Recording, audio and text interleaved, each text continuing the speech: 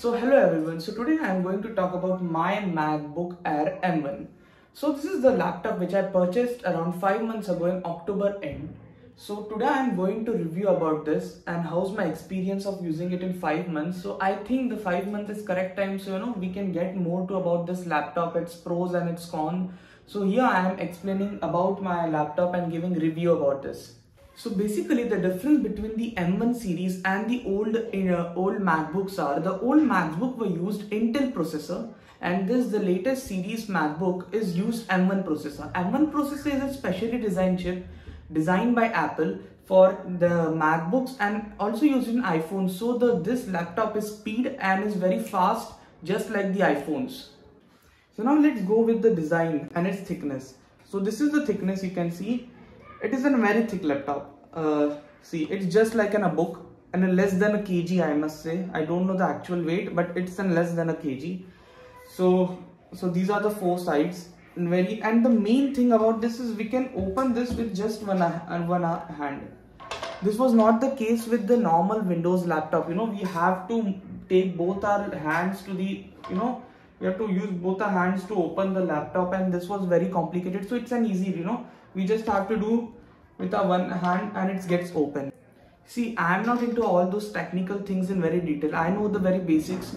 How as a basic college student what are the things as a college student we need about the laptop which are the uses we do. So i am going to explain you from that point of view. So let's go. So now basically what my usage about this laptop is i do coding. I use uh, java and Java and Python. For that, I use Spyder, Eclipse and VS Code. So it works best and I mean the perfectly on this laptop. The another thing I use is uh, iMovie. I edit my videos on iMovie on this laptop.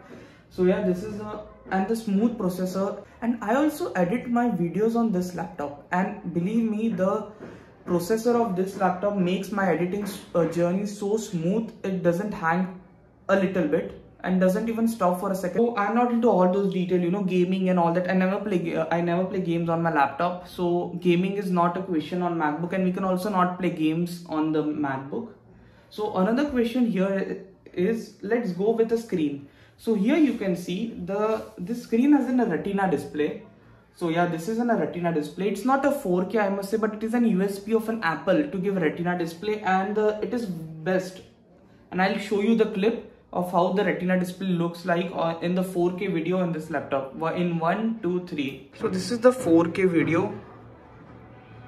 Quality on my macbook air.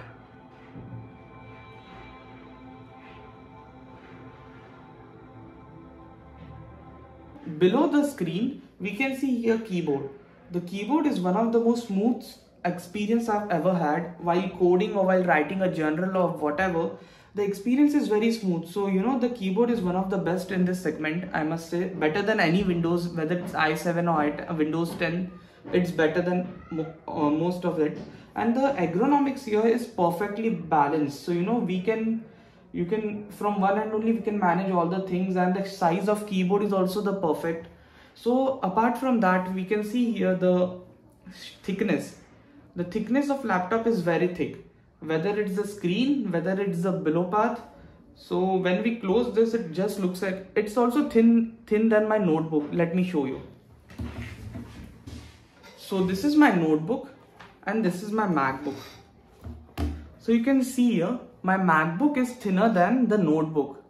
And i must say it is heavy obviously heavier than the notebook but not heavier than the normal windows laptop. So uh, it is uh, mostly less than uh, 1 kg I mean I don't know the exact weight but it mostly be um, less than 1 kg. So apart from that the main thing about this is we can open this laptop with just one hand.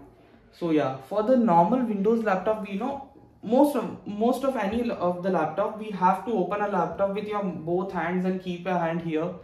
But in this apple laptop we can only just you know open this with one hand. Another thing one of the main of this is battery life so usually on full charge my laptop lasts around 7 to 8 hours on a whole day screen time it gives 7 to 8 hours screen time on full charge on on not the screen time it usually lasts around 12 to 14 hours of battery life in a whole day so it's pretty well much so i don't need to charge every day I only charge once in the morning and then at the night.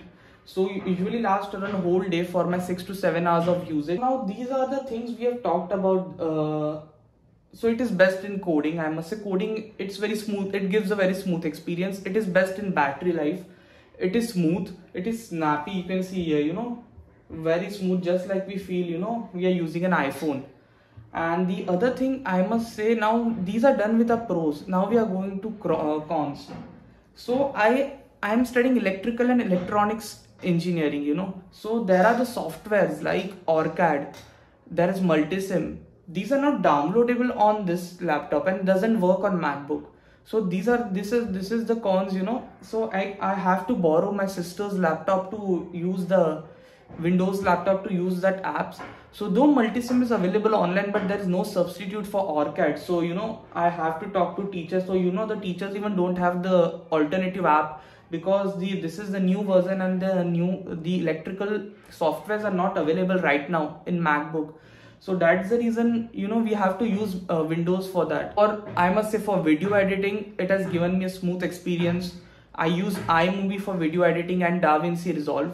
And these both app work smoothly on this macbook without even a, you know uh, it doesn't get hang at all. Basically nowadays i'm trying to put a one video on tuesday about this informative things about the education of vi VITEEE and all these things and on friday i'll post one vlog. So every week two uh, two videos i'll post. So hey everyone hope you like this video and if you have any doubt regarding uh, this macbook or any other things you can shoot down in the comment.